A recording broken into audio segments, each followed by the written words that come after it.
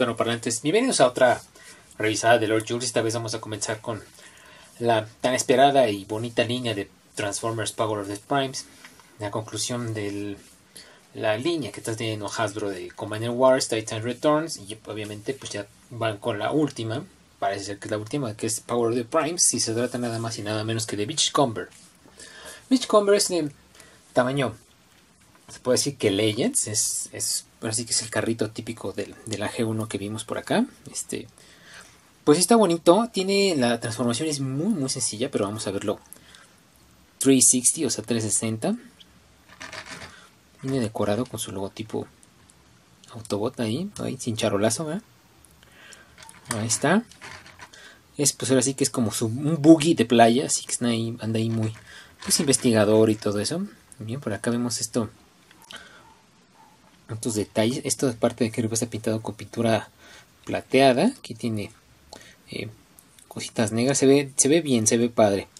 Las llantas es totalmente rodable. Pues por la parte de abajo, si lo ponemos así, pues ya estamos viendo el, pues casi casi el modo robot, ¿verdad? Pero bueno, aquí la particularidad es que pues como en la, en la película, ándale pues, como en esta línea, pues también tiene interactividad con otras figuras. Entonces vamos a meter un Titan Master. ¿Verdad? Que puede este, estar aquí en Beachcomber. Entonces levantamos esto. De acá. Tiene que ir con los pies extendidos. Lo metemos, hacemos coincidir eh, esto. Total, ¿no? Pues ahí está el tiene hasta su pilotito ahí. Ahí se alcanza a ver. Ahí está. Muy bien. Bueno, la, cosa más sencilla es la transformación en modo en, robot. Porque pues es, pues Legends, tiene poquitos pasos, pero eso sí no lo exime de que tenga gran detalle. Entonces obviamente pues vamos a empezar. Así está nuestro, nuestro juguete. Separamos esto como para meter acá el, al monito toda esta parte de enfrente del robot la vamos a bajar y a extender. Subimos esto hacia acá atrás y separamos. Esto se va a convertir en sus pies.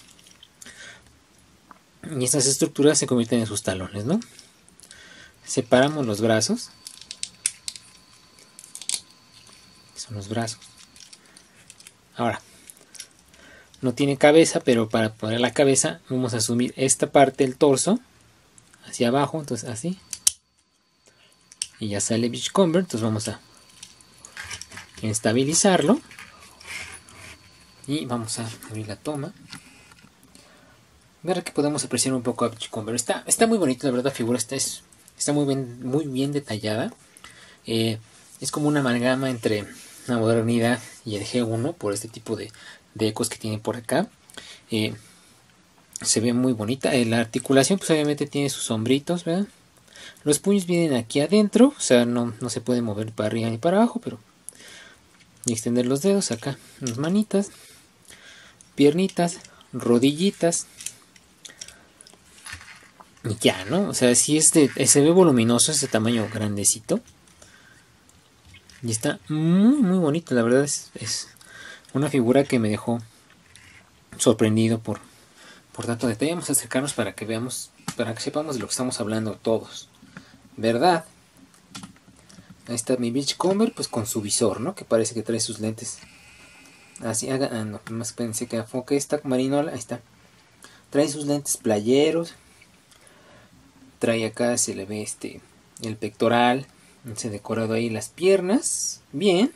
Bien, tiene sus faritos de buggy. Así se ve. De perfil. Ahí se baja eso, ¿eh? Para que no se vea así. Ahí. Así se ve de perfil. Bien, tiene buena masa. En la espalda, muy bien. Ya, este, a mí me gustó bastante la figura. De hecho, es una de mis mis favoritas de la línea hasta, hasta el momento. Digo, yo sé que vienen los deluxe y todo eso, bla, bla, bla, bla. Pero bueno, este Beachcomber no le pide nada a nada, ni a nadie. Entonces, hasta se activó mi Siri. Este. No, no puedo. Ok. Este. Bueno, entonces amigos hispanoparlantes. Eh, esta fue una bonita pero cortita review de Beachcomber. Eh, y nos vemos en la siguiente. Hasta luego.